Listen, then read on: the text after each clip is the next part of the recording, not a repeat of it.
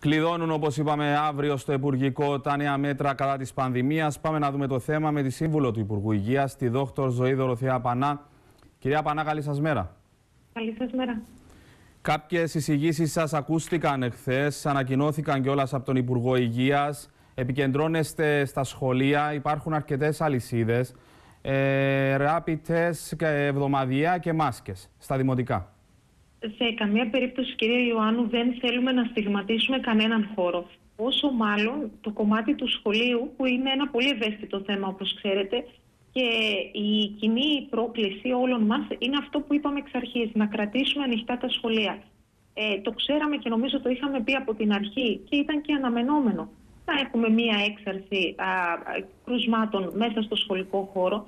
Γίνεται πάρα πολύ καλή δουλειά ε, και από τα δύο, όχι ένα, τις δύο ομάδες συχνηλάτησης στα δύο Υπουργεία ε, και είναι λογικό να προσπαθήσουμε με οποιονδήποτε τρόπο να αυξήσουμε την ασφάλεια πρακτικά στον χώρο, στο σχολικό, στον εκπαιδευτικό χώρο. Άρα η κάθε προσπάθεια, είτε αυτό είναι το σχολείο, είτε οποιοδήποτε άλλος άλλος χώρος, είναι να αυξήσουμε την ασφάλεια, να προστατέψουμε τα παιδιά μας, να προστατέψουμε τους πολίτες μας σε ένα κύμα και ένα χειμώνα που όπως βλέπουμε και από άλλες χώρες δεν θα είναι εύκολος. Πάντως ε, το Σάββατο το βράδυ όταν τα λέγαμε εδώ στο δελτίο του Αντένα λέγατε για ένα δύσκολο χειμώνα που έρχεται. Ε, ίσως δούμε πιο αυστηρά μέτρα εάν αυτά τα μέτρα που θα ανακοινωθούν αύριο τις επόμενες δύο με τρεις εβδομάδες δεν αποφέρουν καρπούς; Κοιτάξτε, πάντοτε και το θυμάστε προσπαθούμε να πηγαίνουμε βαθμία και να δίνουμε και τουλάχιστον ακόμα και τώρα στο παραπέντε, αν είναι στο παραπέντε, ένα χρονικό περιθώριο στους πολίτες μας να καταλάβουν την κρισιμότητα της κατάστασης και το ποια είναι τα διαθέσιμα όπλα που έχουμε αυτή τη στιγμή για να αξιοποιήσουμε. Δεν νομίζω κανένας, και το τονίζω κανένας, ε, να θέλει να μπει σε μια φαρέτρα περιοριστικών μέτρων δύο χρόνια μετά την πανδημία. Άρα λοιπόν αυτό που προσπαθούμε όλοι μαζί είναι όχι μόνο να μην δημιουργήσουμε διχασμό, αλλά να προσπαθήσουμε να προστατέψουμε αυτό που σας είπα και προχτές, τους πιο ευπαθείς. Και δυστυχώς πιο ευπαθείς σε αυτή τη φάση και τους επόμενους μήνες δεν είναι μόνο οι υπερήλικες και οι ανοσοκατεσταλμένοι. Είναι και τα άτομα τα οποία δεν έχουν κτίσει την ανοσία τους και ενδεχομένως σε αυτή τη φάση να είναι απροστάτευτοι σε ένα τεράστιο κύμα που έπεται.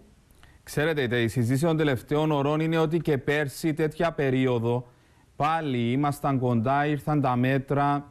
Ε, ο στόχος είναι να σωθεί τουλάχιστον η χριστουγεννιάτικη περίοδος τόσο και για την ψυχολογική περισσότερο ε, των πολιτών, την ψυχολογία.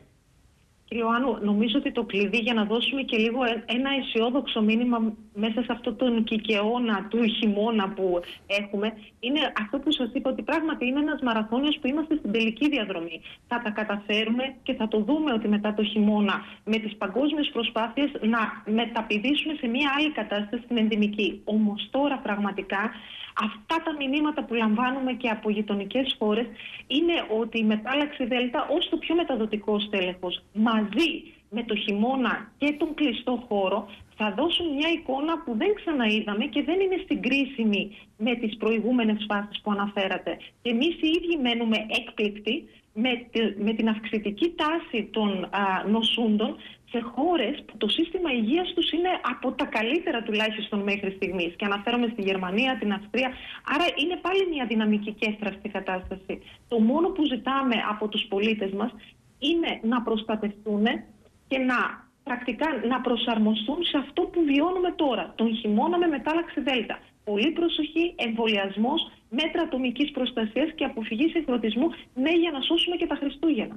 Πάντως ε, νωρίτερα ο σύμβουλος του Υπουργού, ο κύριος Αθανασίου, μας ανέφερε ότι ε, είχαμε σχεδόν 7.000 εμβολιασμούς τρίτης δόσης εχθές. Φαίνεται ότι ο κόσμος λαμβάνει τα μηνύματα των τελευταίων ημερών και σπέβδει στα Walking ώστε να εμβολιαστεί και να θωρακιστεί.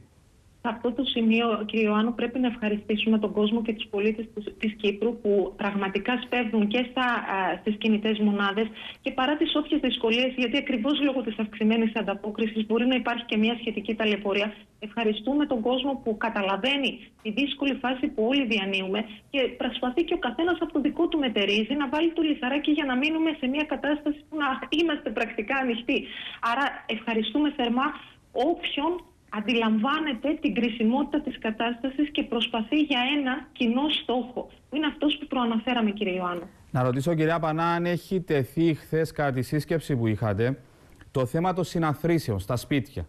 Είναι κάτι που βρίσκεται στο τραπέζι των συζητήσεων σας; Κοιτάξτε, ε, γιατί θέλουμε να είμαστε απόλυτα ειλικρινείς, η οποιαδήποτε απόφαση ε, είναι πάρα πολύ δύσκολο να πάρθει. Γιατί πέρα από το γεγονός ότι έχουμε δεδομένα και τεκμηρίωση στο ποιοι είναι οι χώροι υψηλού κινδύνου, πρέπει να λάβουμε υπόψη μας ότι έχουμε στην πλάτη μας δύο χρόνια πανδημίας έναν κόσμο ο οποίος είναι τρομερά εξαγριωμένος και κουρασμένος, ε, που θέλει να έχει κάποια μέσα σε εισαγωγικά εξυλαστήρια θύματα για να δικαιολογήσει όλο αυτό που βιώνει. Άρα και στο κομμάτι των συναθρήσεων, ναι, γνωρίζουμε και το γνωρίζουμε όλοι μας, όχι μόνο εμείς που θεωρούμαστε, ας το πούμε, επιστήμονες πάνω σε αυτό το κομμάτι. Όλοι μας γνωρίζουμε ποιοι είναι οι χώροι υψηλού κινδύνου. Ε, και γίνεται προφανώς συζήτηση πάνω σε αυτό. Από την άλλη, προσπαθούμε πραγματικά να βρούμε μια ισορροπία όσο αυτή είναι εφικτή, ώστε να μην στραγγαλίσουμε την κοινωνία, να μην στραγγαλίσουμε την οικονομία, να μην προωθήσουμε ακόμα περισσότερο τις ψυχοκοινωνικές επιπτώσεις, αλλά από την άλλη δεν μπορούμε να παραγνωρίσουμε ότι η πρωταρχική μας αξία είναι η υγεία. Και αυτή τη στιγμή δεν πρέπει επίσης να παραγνωρίζουμε ότι έχουμε κάποιους γιατρούς και νοσηλευτές που αδιάκοπτα δουλεύουν για δύο χρόνια. Έτσι ώστε να βλέπουμε όλες αυτούς τους αριθμούς, οι οποίοι πρακτικά τις τελευταίες μέρες βλέπουμε να αυξάνονται. Δεν μπορούμε να μην πάρουμε μέτρα πάνω σε μια εικόνα που βλέπουμε ότι εξελίσσεται και δεν θέλουμε να φτάσουμε σε ένα σημείο που να μην μπορούμε να την ελέγχουμε. Αυτός είναι ο στόχος και αυτή ήταν η συζήτηση χθες. Και την ίδια ώρα, κυρία Πανά, υπάρχουν και έρευνες ε, που βλέπω τώρα μία ότι η προστασία ενός mRNA εμβολίου στην τρίτη δόση διαρκεί περισσότερο, λέει, από τις δύο πρώτες. Αυτό είναι ένα ερώτημα που θα ευχόμαστε τουλάχιστον και οι επιστήμονες σε κάποιες μελέτες να απαντήσουν κατά το δυνατόν γρηγορότερα. Έχετε δίκιο. Φαίνεται ότι μετά την τρίτη δόση ε, το μπουστάρισμα, η ενίσχυση του, ανοσιακού, του ανοσιακού μας συστήματος είναι τέτοια ώστε ενδεχομένως να μην χρειαστεί π.χ. μετά από ένα ε, εξάμεινο να επανεμβολιαστούμε. Άρα λοιπόν σημαίνει ότι είναι πολύ κριτική σημασία για το χειμώνα και την επόμενη περίοδο να ε, κάνουμε την ενισχυτική μας δόση και για την Κύπρο, δηλαδή για μας, για να μπορέσουμε να λειτουργήσουμε ως κοινότητα, διότι και προστατευόμαστε από τη σοβαρή νόσηση, αλλά μειώνουμε και τον κίνδυνο διασποράς, απόδειξη αυτού το Ισραήλ τώρα, αλλά και σε βάθος χρόνου να πετύχουμε την παγκόσμια ύφεση. Αυτό θέλουμε όλες οι χώρες. Μάλιστα. Κυρία Πανά, ευχαριστώ πάρα πολύ. Καλό υπόλοιπο. Να είστε καλά.